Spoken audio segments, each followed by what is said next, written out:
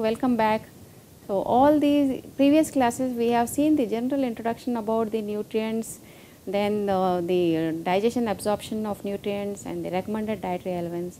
Now, let us start going into each nutrient in detail uh, starting with the major nutrients uh, out of which carbohydrate is the main uh, major nutrient among the three carbohydrates, proteins and uh, fats. So, the general characteristics of carbohydrates, the term carbohydrate is derived from a French word hydrate de carbon. So, it, it, it is composed of carbon, hydrogen and oxygen and the empirical formula is CH2O. Our body derives energy from the catabolism of energy yielding nutrients like the carbohydrates, fats and proteins. So, carbohydrates are the single most abundant source of dietary energy which comprises 50 to 70 percent of the total energy intake of our diet. So, any area population you see the carbohydrate is the major content giving the energy. Now, let us see the classification of carbohydrates.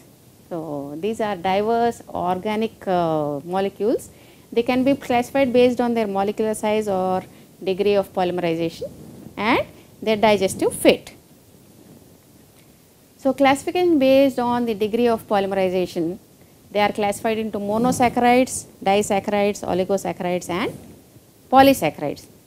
So, monosaccharides they are uh, consisting of single unit of uh, sugar and they are also known as simple sugars. So, the degree of polymerization is 1 and they cannot be further uh, hydrolyzed. And disaccharides consists of two monosaccharides where the degree of polymerization is 1 to 2 and oligosaccharides the polymerization is 3 to 9 and uh, you can get so many monosaccharide units when they are hydrolyzed. Polysaccharides each molecule contains more than 9 degree of uh, polymerization and you get several molecules of monosaccharide units. And uh, classification based on the digestive fate of carbohydrates. So, the digestive fate of carbohydrates depends upon their inherent chemical nature and the supramolecular structures within the foods of which they are a part. So, they are classified as available and non-available uh, or unavailable carbohydrates. So, carbohydrates that are digested to constituent monosaccharides and absorbed fall under the category of available carbohydrate. Whereas, the carbohydrates that are not digested by the endogenous enzymes and we have do not have the capacity of digesting those carbohydrates uh, in the intestinal tract, they are classified as unavailable carbohydrates. So, these undigested carbohydrates they finally enter the colon. We cannot separate digested and undigested carbohydrates and eat. So, we eat food totally. Therefore, the undigested carbohydrates they reach the colon and here they are fermented by the microflora that are present in the intestines. Therefore, unavailable carbohydrates are not really unavailable, but they are termed as non-glycemic carbohydrates. That means they do not provide any energy or in the stomach and uh, they go undigested into the intestines. Now, functions of carbohydrates, the main function of carbohydrate is they are the source of energy and glucose is the main source of energy to the body cells. 1 gram of carbohydrate provides 4 kilocalories of energy. I have been repeatedly telling this so that you do not forget and energy is required for normal functioning of organs in the body and the glucose is stored in the liver as glycogen. So, liver is the storage organ for glycogen and uh, whenever the body requires glucose, the uh, uh, glucose is released from the liver and the levels in the blood are maintained. Then protein sparing action. So, carbohydrates help in regulating the protein metabolism because the main function of protein is to building up of the body and repair of tissues. So, but protein also provides 4 kilocalories of energy. So, if carbohydrates are not provided, proteins will start giving energy. Therefore, when you give sufficient amount of carbohydrates, proteins are spared for their functions that is this protein sparing action.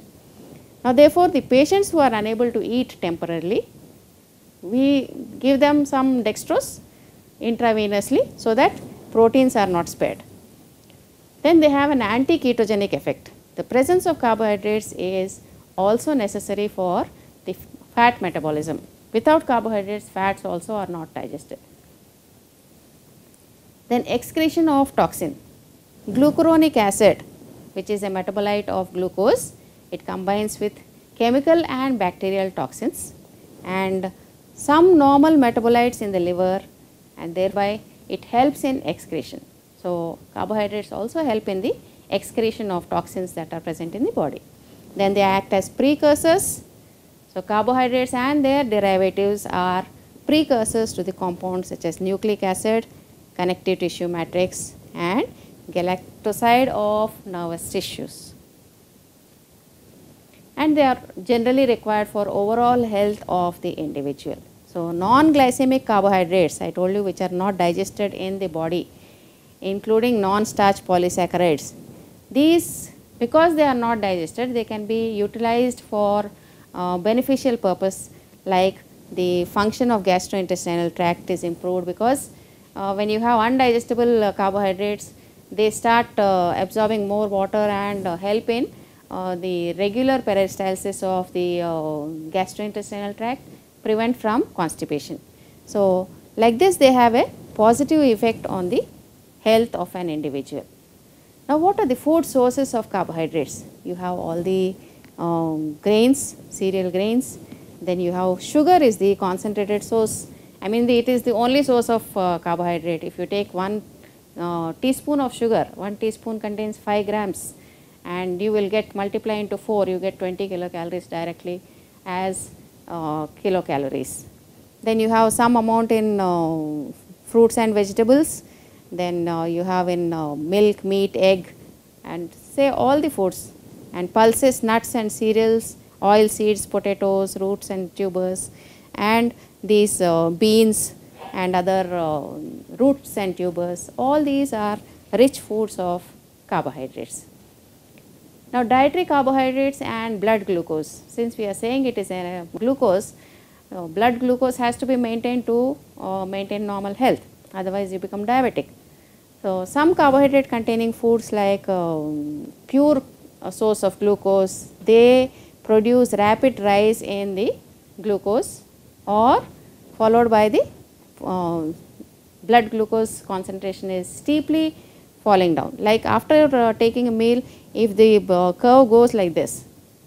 So, within half an hour you have a steep rise in the blood glucose curve and uh, it falls very uh, fast. Then what happens? You feel uh, giddy, isn't it?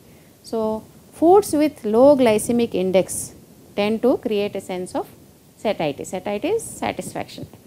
That means you have more of unavailable uh, carbohydrates or undigested carbohydrate, then you have uh, feeling of fullness, you eat fibrous food.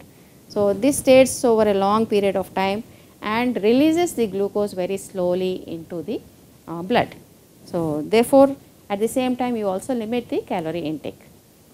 So, this is how the glycemic index is carried on. So, it is defined as the area under the blood glucose curves and which is seen after the digestion of a meal by taking the carbohydrate rich meal and it is compared to the uh, area under curve of a uh, of glucose. So, when you compare these two you have the uh, glycemic force. If there is a steep rise in the curve then it is said to be high glycemic index which is not good for uh, health. So, you always have to take low glycemic index foods to have a healthy uh, normal blood glucose levels in the body. So, requirement of carbohydrates Carbohydrates are not essential nutrients because the carbon skeletons of amino acids can be converted into glucose. I told you the protein also can be converted into energy. So, they are not called as essential nutrient. However, when you do not take sufficient amount of carbohydrate, it leads to ketone body production. So, the keto, ketonic acids are produced because it does not help the uh, assimilation of fats and uh, there is degeneration of body protein. So, where uh, the uh, role of protein is to provide uh, um, body building functions, otherwise it is providing energy. So, it protects the proteins. Requirement the RDA for carbohydrate is set as 130 grams per day for adults and children. So, adults should continue, the main thing is it should give 45 to 65 percent of the total calories that is taken per day. And it is recommended that added sugar represent should not be more than 25 percent of total energy because it may uh, dispense the other nutrient for rich foods from the diet. Once you take more than 25 percent of sugar in your uh, diet, you don't feel like taking the other food. So, it dispenses the other foods. So, thereby it leads to deficiency of certain micronutrients. Now, simple sugars and disease. The consumption of simple sugars is harmful. That is, pure sugar is harmful because um, generally it says that uh, whenever we take high amount of sugar, it leads to diabetes or hypoglycemia. That is wrong. So, carbohydrates are not inherently fattening. Unless you take excess amount of carbohydrates, the energy is stored as fat, but naturally they are not fattening and result in fat synthesis only when consumed in excess in the body. However, there is an association between sucrose consumption and dental caries because it attracts all the bacteria on the teeth and uh, forms cavities on the teeth. So, this is about the carbohydrates, the uh, structure of carbohydrates, the classification of carbohydrates, then the food sources, the requirements and the deficiency or excess of carbohydrates, how it leads to diseases and how it hampers the health. Thank you.